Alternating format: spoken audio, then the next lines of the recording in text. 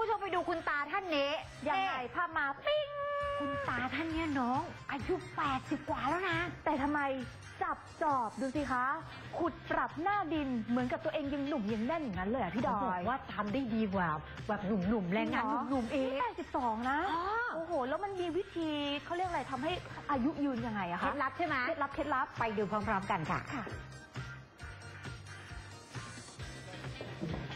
นี่เลยค่ะพูดคุณเลยผู้ชมันจะมม่วงนี่เลยคือถ้าเราไม่บอกอายุเนี่ยนะตัวนี้คุณผู้ชมจะไม่เชื่อเลยว่าค่ะคุณตาท่านเนี่ยเลย 80 มา 2 ปีแล้วอืมร่างกายเนี่ยสมบูรณ์แข็งแรงนะ แตกต่างจากคนชราทั่วไปเนาะลองนึกภาพสิถ้าเรา 82อะเราต้องหลังงอๆแล้วอะเรานั่งรถเข็นแล้วล่ะใช่ใช่ เพราะฉะนั้นเนี่ยถ้าคุณตาลุกขึ้นมาจับจอบจับเสียมขุดทวนดินปรับหน้าดินคล่องแคล่วแบบเนี้ยโอ้ลุงยลุงแพ้จะน้องแพ้เออ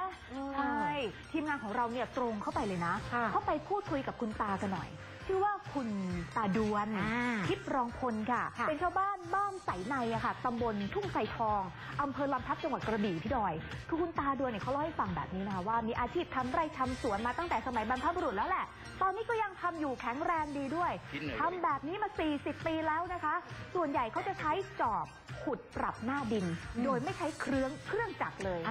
่าแล้วก็เห็นว่ามีที่ดินอยู่ 2 ไร่ครึ่งนะคะ ก็เข้าค่ะมาปรับพื้นที่เพื่อไปปลูกยางพาราอ๋อปลูกกล้วยหอมทอง แล้วก็มีสับปะรดแซมมาด้วยอีกหน่อยค่ะ แล้วก็จะเริ่มลงมือเนี่ยทำงานตั้งแต่เจ็ดโมงเช้าเลยนะโอ้โหตื่นตั้งแต่ตีห้าหกโมงเลยอะค่ะพักเที่ยงก็ใช้เวลาหนึ่งชั่วโมงพักเที่ยงทานข้าว จากนั้นก็ลุยทำงานต่อจนถึงหกโมงเย็นอะพี่ดอยไม่รู้จักเหน็ดเหนื่อยเลย ที่สำคัญทำแบบนี้ทุกวัน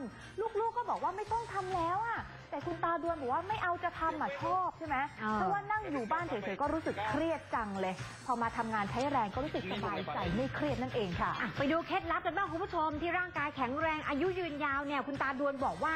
ง่ายๆเลยนี่ค่ะ ภาพนี้ค่ะอาหารพื้นบ้านตามปกติ ส่วนใหญ่เนี่ยที่กินบ่อยๆ ก็คืออะไรผัก จิ้มน้ำพริก โอ้ แกงส้มปลา แกงเลียง เนื้อสัตว์ทานบ้างบ้างอะแต่ไม่บ่อย เพราะฉะนั้นนะคะ ความรู้ด้านการนวดแผนโบราณเนี่ยคุณตาก็ถนัดนะค่ะนวดแผนไทยบำบัดโรคเนี่ยบำบัดโรคเหน็บชากระดูกทับเส้นไมเกรนนะคิดค่าบริการชั่วโมงละ200 บาทโอ้ สนใจไปหาหมอดวนอ่านเมื่อกี้คุณตาปั๊บกลายเป็นหมอดวนทันทีนะจ๊ะ เบอร์โทรศัพท์ 061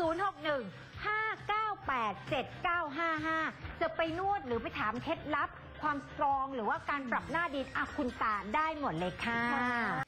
ขอบคุณที่รับชม GNN ช่อง 16 และถ้าไม่อยากพลาดการติดตาม อย่าลืมกด subscribe และกดกระดิ่งนะคะ เรายังมีวิดีโอที่น่าสนใจอีกเพียบ